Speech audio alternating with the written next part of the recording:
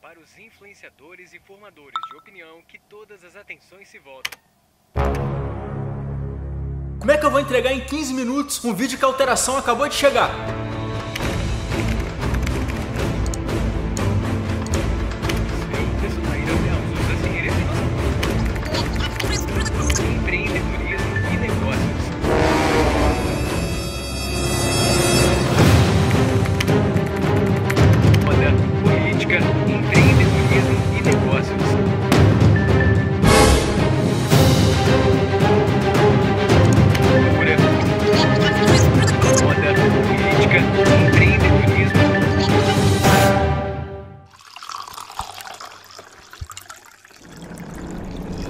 Ah, já sei!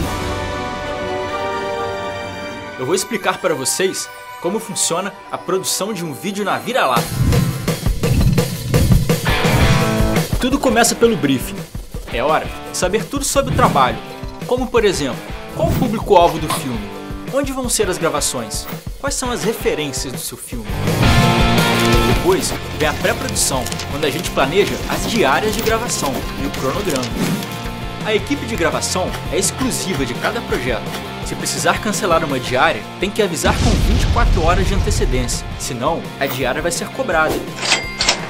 Depois da aprovação, a gente parte para o roteiro. O cliente vai ter um roteirista dedicado por tempo.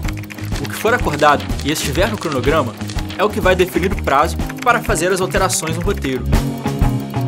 Tem um período mínimo para a primeira versão do roteiro ficar pronta, mas o cliente pode adquirir mais diárias depois se quiser.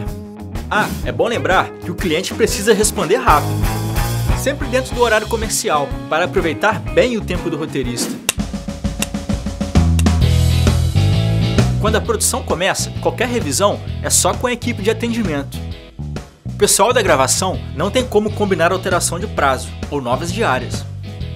Mas para fazer mágica tem regra no set também.